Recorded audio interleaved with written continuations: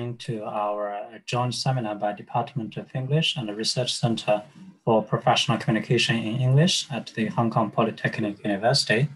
Uh, my name is William Feng from the Department of English and also serving as the Associate Director of the Research Center for Professional Communication in English. So uh, uh, today we are very happy to have uh, Dr. Mark Nartey to speak for us for uh, the research center uh, as well as the department. So uh, Dr. Mark Nartey, who is a Hong Kong Polytechnic University Distinguished Postdoctoral Fellowship in the Department of English. his research is mainly on corpus linguistics and critical discourse analysis. And uh, I'm proud to say that uh, he graduated from uh, PolyU, from our department, and uh, Uh, during uh, his PhD uh, in the last uh, four years, five years, uh, he has produced over a dozen articles and he's very productive and most of these papers are really exciting cutting edge research appearing in prestigious journals like Corpora, Discourse and Communication, Critical Discourse Studies, and Language and Intercultural Communication. And the topics he uh, has studied includes uh, different kinds of professional communication in uh, various uh, contexts in Ghana, in China, in Australia and UK. So today he's going to share with us his recent research on emancipatory discourse in action, a feminist critical discourse analysis of Ghanaian feminist blogs. So now let's welcome Mark. Thank you very much, Dr. William Feng, for the kind introduction. Many thanks to the department and the Research Center for Professional Communication in English for the opportunity to share.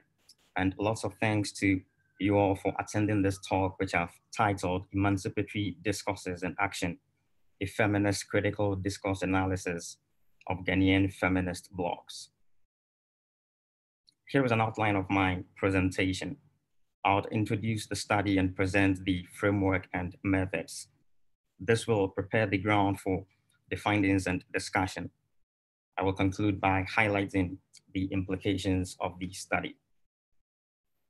I broadly situate my study within the context of research on non-dominant groups. So I'll begin by explaining this term. Non-dominant groups are socially, not numerically defined.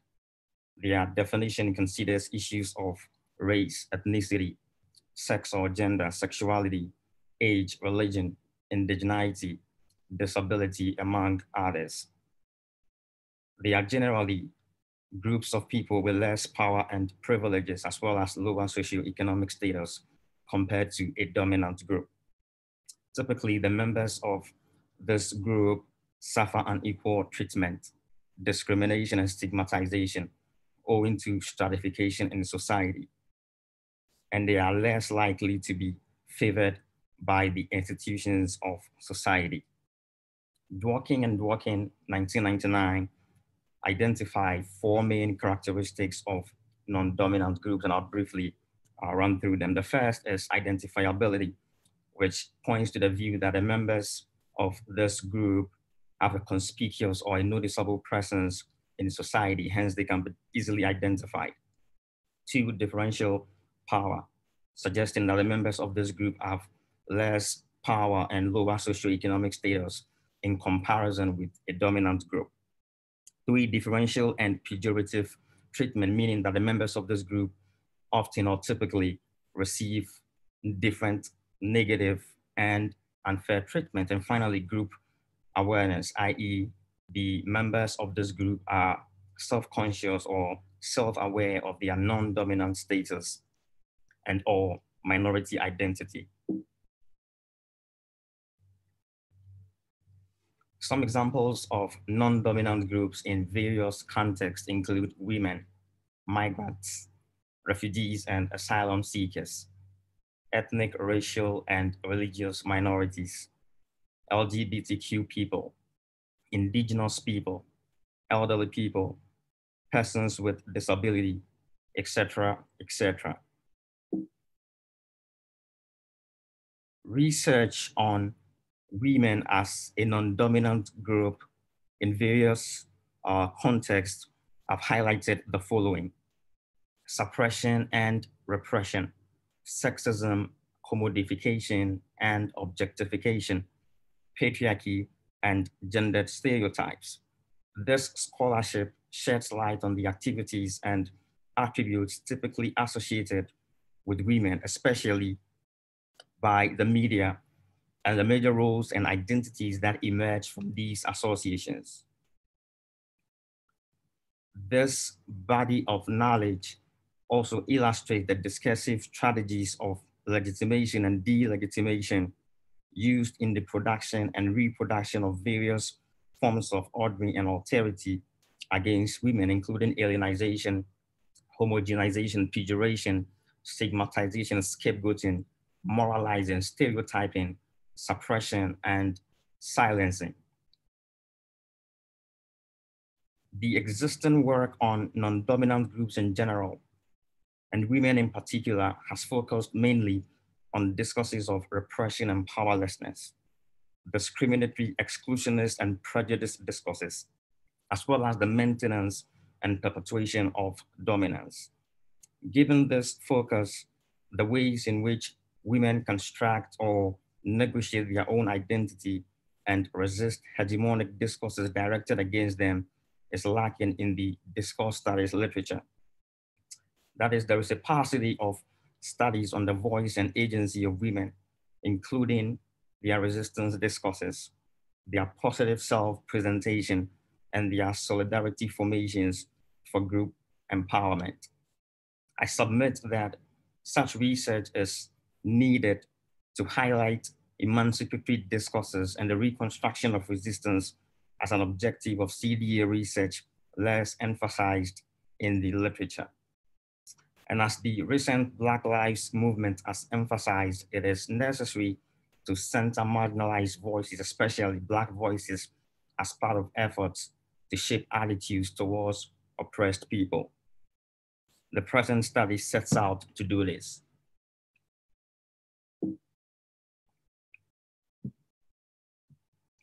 To provide some context, I will highlight some areas where gender inequality is evident in Ghanaian society.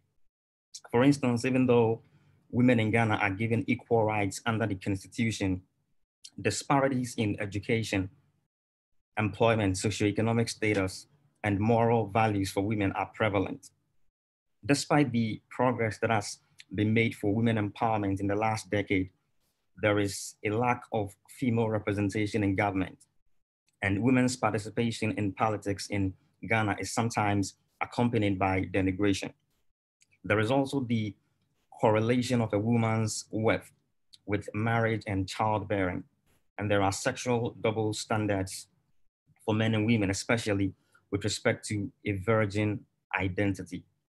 To tackle these issues, feminist organizations and women's rights groups have increased in recent years, and efforts aimed at gender equality continue to grow in Ghana. The present paper contributes to these feminist efforts by highlighting how Ghanaian feminists utilize the affordances of online media to project their voice and construct or reconstruct a positive identity for themselves.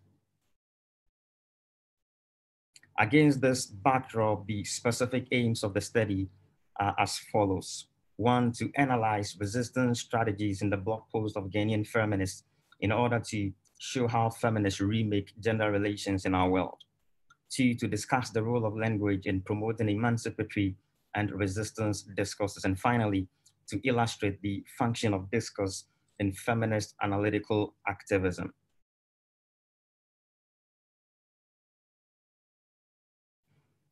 To achieve these objectives, I adopt Michelle Lazar's feminist critical discourse analysis. This framework combines insights from critical discourse analysis and feminist studies to interrogate discourses that perpetuate gendered social practices. It is a perspective that examines the complex, overt, and covert ways in which gendered assumptions are discursively produced, sustained, negotiated, and challenged in various contexts. With a focus on social justice and transformation, feminist critical discourse analysis aims to challenge discourses that entrench gendered social practices and structures that impinge on possibilities for men and women as human persons. Additionally, feminist critical discourse analysis is interested in issues of access to forms of discourse that can be empowering for women's participation in public domains.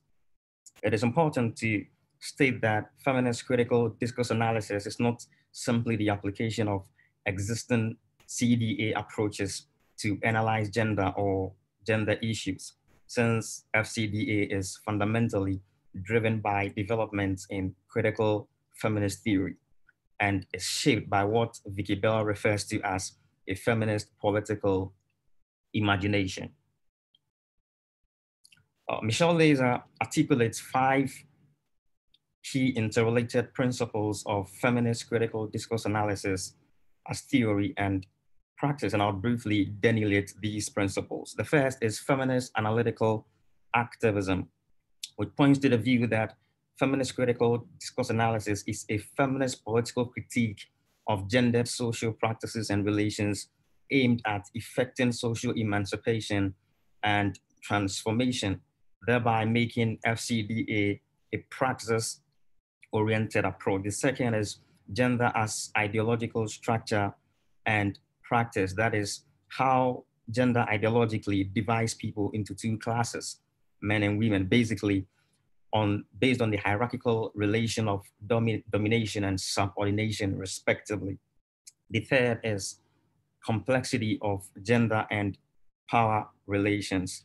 And in this regard, FCDA views gender as interconnected with other socially stratified identities based on race, sexuality, social class, among others. Hence, gender is not studied as an isolated category that overlooks other potentially relevant dimensions of social identity.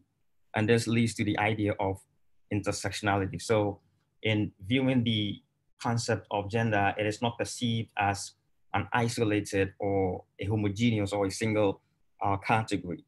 Instead, it is perceived as being intersected with other social identities. And the fourth is discussing the construction or deconstruction of gender, that is viewing discourse as one of the key elements of social practices, and thus examining how gender ideology and gender relations of power get produced and reproduced, negotiated and contested in text and talk. The final principle is critical reflexivity as praxis. That is how knowledge about social processes and structures can shape practices, thereby resulting in positive change or how critical awareness can become a normal feature of people's everyday life. I now turn my attention to my data set and analytical framework or analytical procedure, I should say. The data for the study comprised 80 blog posts written by Ghanaian women who describe themselves as feminists five blog posts were written by guest authors for whom one is unable to ascertain whether they are feminist or not. Nonetheless, these articles had a feminist orientation since the authors were writing for a feminist blog. The blog posts were purposively sampled based on the intersectional approach they adopt and based on the centering of Ghanaian women's voices and their feminist activist stance. The blogs from which the data were collected include the following, GhanaFeminism.com, JustNanaAma.com, QuichiWestDiary.com, PepperdemMinistries.com, LydiaForson.com, Facebook.com forward slash our collective V. The blogs were chosen based on their popularity. Based on the feminist orientation of the blogs, it can be said that their aim is to expose negative and constricting gendered practices within the context of Ghana as part of a greater global movement for equity.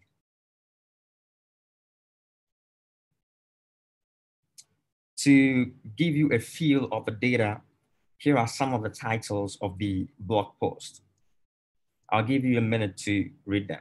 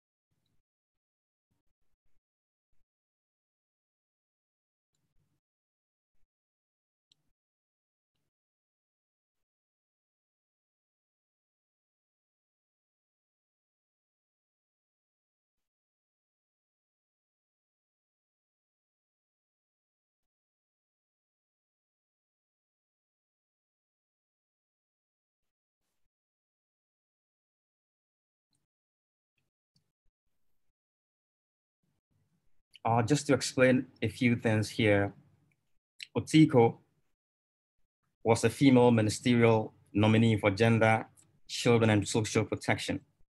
So basically, uh, this uh, blog post, what the blog writer does is to praise her for resisting sexist comments directed at her during her vetting.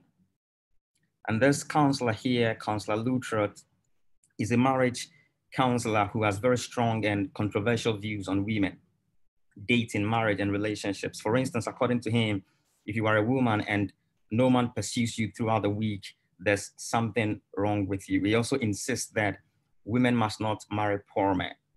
So the, the blog writer considers his views to be baloney or balderdash.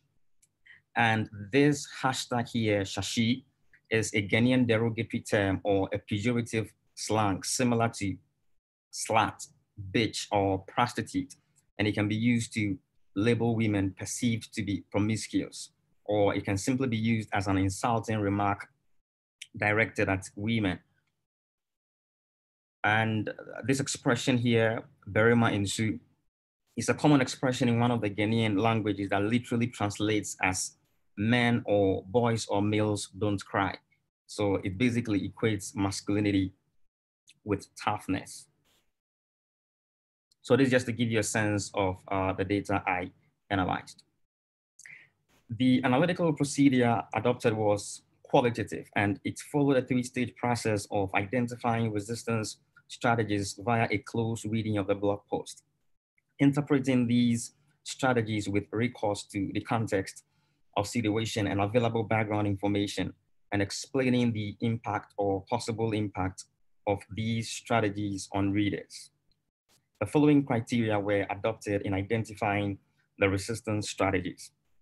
One, expression of discontent with practices that reinforce gender social arrangement. Two, articulation of social justice for women and societal transformation. Three, communication of a feminist political action or imagination. Four, rejection of cultural devaluation. And finally, emphasis on access to forms of discourse that can be empowering for women's participation in public domains.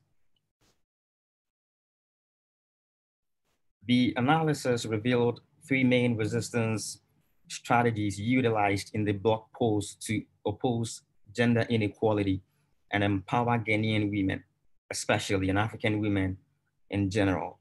These strategies include critiquing patriarchy traditional gender norms and gender oppression, to resistant gender stereotypes and rewriting demeaning narratives. And finally, calling out sexist attitudes and applauding women who resist such behavior. Through these strategies, the blogs are used to perform social activism in the form of the promotion of critical awareness. I therefore argue that the issues interrogated in the blog post do not simply prepare the way for action, but constitute action in themselves, since critical awareness, according to Michelle Lazar, is a form of activism. I now discuss the first resistance strategy, critiquing patriarchy, traditional gender norms, and gender oppression. Even though Mark Storovich and Larson assert that women and men across the globe continue to live with patriarchy, I submit that patriarchal practices are very dominant in African societies, including Ghana, thereby enabling the prevalence of traditional gender norms and gender oppression. The blogs st strongly criticize such systematic gendering of privilege and inequality by focusing on two issues. One, women's sexuality, and secondly, the issue of marriage and motherhood. So I'll look at these two issues and examine how the blogs engage with them. First, I'll look at the issue of women's sexuality. In extracts one to four, sexist gender norms and gender oppression that derive from patriarchy are exposed and criticized. Some of these sexist gender norms and gender oppressions include normalized sexual coercion, male entitlement, victim blaming, slut shaming, and the policing of a woman's body and or clothing. Hence, the blog posts resist socially constructed views that seek to justify men's sexual freedom and women's sexual confinement. Given the gender-based sexual double standards evident in Ghanaian society, there is a coupling of purity and high moral worth with a virgin identity for women, but not for men. Hence, being a virgin or appearing to be one can be said to be a necessary aspect of maintaining moral worth and avoiding ridicule, shame, and devaluation.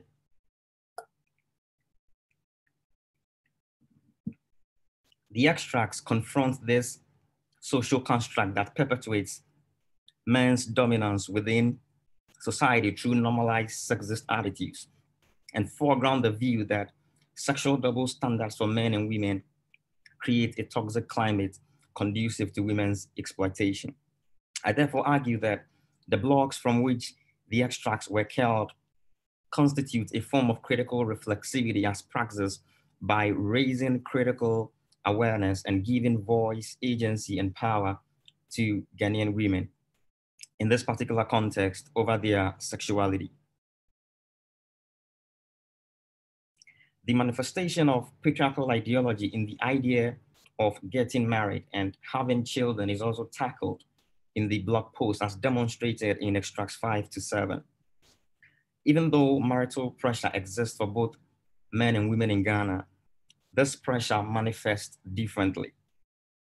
That is, women are largely socialized to desire marriage as a key indicator of a fulfilled life, while men are socialized to view marriage as an eventual but necessary step that will rid them of their boyhood freedoms. For instance, there is a societal expectation for women to get married in their 20s and have children by a certain age but such an expectation is not necessarily foisted on men. The view that highly educated and or very successful women will have difficulty to find a husband is also held by many people, partially echoing Yatin Yu's submission on the notion of leftover women in Chinese society. Additionally, whether it is a fulfilling career or an attempt at vying for political office, Ghanaian women of a certain age are sometimes not accorded due respect or accepted unless they are married. Hence, extracts five to seven debunk the patriarchal gender ideology that makes women feel that failure to get married devalues their life, and more importantly, offer a transformative perspective of valuing women intrinsically, not on the basis of marriage or motherhood.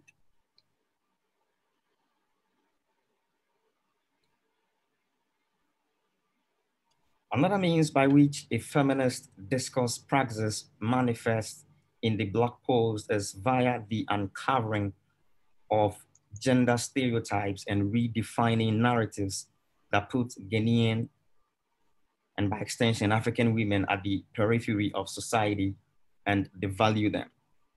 In this way, the blog function as a gender advocacy platform that puts gender on Ghana's agenda and probes into the structures operating within Ghanaian society that somehow leaves both genders imbalanced.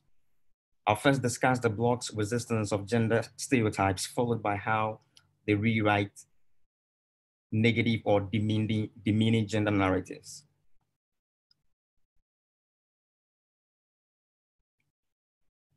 In extracts 8 to 11 and throughout the entire data, a number of stereotypical notions are resisted. These views, which are often expressed in everyday conversations in Ghana, on social media, and sometimes on radio and television, include women are their own enemies. Women have a victim mentality. Women stay in abusive relationships because of sex. Women are boyfriend and husband snatchers. Women must love their abusers in order to change them. And it is normal for men to cheat. Other stereotypes that border on women's positioning as feminists include the following. Women feminists are ugly. Women feminists are just frustrated, bitter, and angry. And women feminists hate men. Importantly, the blog post not only render the various stereotypical notions untenable, but also offer a more nuanced counter perspective. For instance, with respect to extracts eight and nine, the blog post argue that some of the possible reasons why some Ghanaian women stay in abusive relationships include lack of financial security, psychological dominance, religious and cultural stigma, cycle of abuse, and fear. I submit that this more informed argument is extremely important because while it may be difficult to understand why some Ghanaian women stay in abusive relationships, is speculation or an assumption like their love for sex perpetuates myths and gender stereotypes that isolate victims even further. The blog post therefore tackle a miseducation in a manner that is empowering for women and hopefully corrects mindsets that enable and foster gender stereotypes. In extract 10, one of the main social narratives that seek to silence women's and Ghanaian feminist voice, especially on social media, is addressed. That is the view that women feminists are ugly. The underlying ideology here is that ugly is a devalued and repulsive state. It is where women are not allowed to be according to society's standards of beauty and social acceptability, and is therefore a space that feminists are pushed or shoved into as a mechanism to demean them. This narrative is, however, invalidated in the blog post and an intrinsic basis of self-worth not based on arbitrary social standards or definition, is advanced.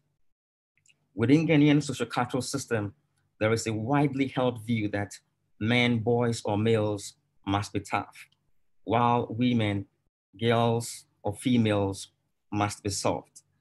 This social narrative is challenged in extract 11, thereby underscoring the point that men, boys, or, or males like all healthy human beings, can express a variety of emotions, including loneliness, sadness, or even a desire to be loved without fear of losing their masculinity or being stigmatized.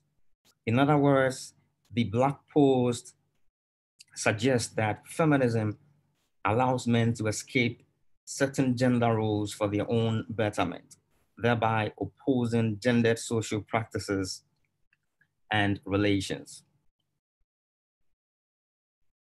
Apart from resisting gender stereotypes, the blog post prefer alternative perspectives by rewriting demeaning gender, gender narratives and reconceptualizing various issues that marginalize Ghanaian women. In extracts 12 to 14, various social narratives that devalue women are interrogated and reconceptualized to give voice and agency to a feminine perspective. Among other things, issues pertaining to beauty, physical appearance, sexual liberation, and the use of sexist metaphors are scrutinized and reconstructed to support the feminist goals of social emancipation and transformation. Therefore, the counter narratives, redefinitions, and interpretations given in the blog post can be understood as a form of analytical activism aimed at facilitating learning and learning and relearning of the narratives both males and females have been operating by in order to provide a better approach to socialization. The strong conviction with which the reconceptualization and redefinition of gendered issues in the extracts are communicated lends credence or credibility to the radical openness used to tackle women's exploitation and women's empowerment. And I'll discuss the third and final resistance strategy identified in the blog post, which is they are calling out sexist attitudes and misogynistic behavior in the media, especially by public figures, as well as commending or applauding or praising women whose actions directly or indirectly resist such behavior. The blogs therefore constitute a platform that openly takes on the system to the extent of exposing the prejudiced and discriminatory discourses of powerful members of the Ghanaian society.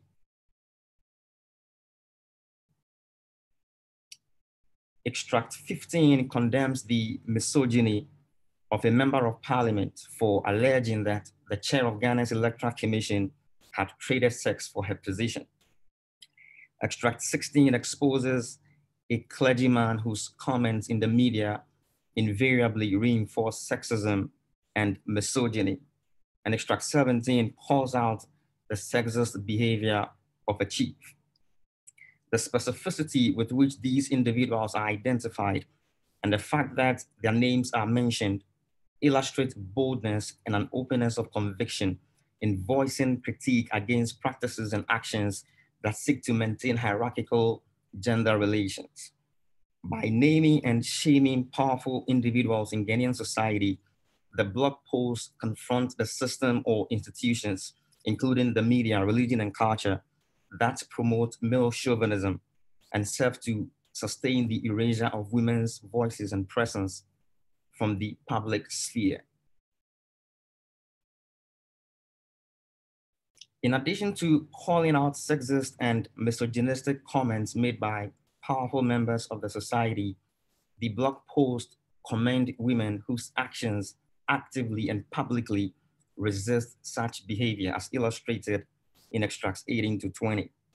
Extract 18 praises a female ministerial nominee for refusing to kowtow in the face of subtle bullying by male panel members during her vetting by the Parliamentary Select Committee given that the vetting committee meetings are broadcast live on national television and aired on radio, the activism performed by the blog post in pointing out how the female ministerial nominee projects her voice and agency is striking. Extract 19 commends a group of women for founding a gender advocacy group following sexist discussions on Ghanaian social media and Extract 20 applauds a 19-year-old girl for reporting an AIDS Ghanaian broadcaster and celebrity to the police, accusing him of rape. I contend that by highlighting the courage and bravery of the women, the blogs function as a praxis-oriented platform concerned with social transformation of the existing gender order and attitudinal change by both men and women. In conclusion, it is my view or my position that the praxis orientation of the blogs notwithstanding, positive social change is not a once and for all achievement. Therefore, there is a need for a continuous striving informed by a feminine perspective of a just society in which interpersonal social relationships and people's sense of who they are or might become are not predetermined or mediated by gender. It is therefore essential for the emancipatory discourse promoted by the blogs to be combined with campaigns, public education, outreach programs, and engagement with relevant institutions or policymakers.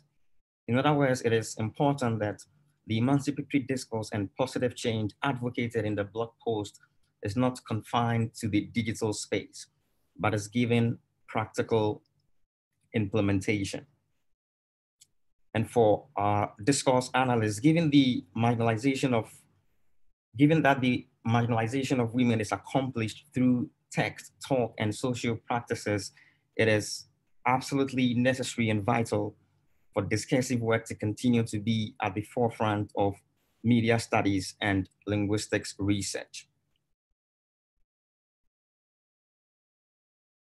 This study builds on existing work on the discursive construction of non-dominant groups in general, and women in particular by shedding light on an aspect of their discursive positioning that has received little attention in the literature. It highlights work done or being done by social movements to dismantle oppressive gender role practices in Ghana and by extension Africa. It also centers marginalized voices in general and amplifies Black voices in particular. Additionally, the insights used in the study are instructive in tackling the gender issues affecting Ghanaian or African women. And finally, by focusing on the context underexplored in the literature, this study extends the scope of work on feminist critical discourse analysis. This study has just been published as an online first publication, so you can check it out if you're interested in further details of the study. Given the brevity of time, I didn't provide a comprehensive context for the examples and strategies that I discussed, so you can read the paper for further insight. Here are some selected references. Thank you for engaging with my talk.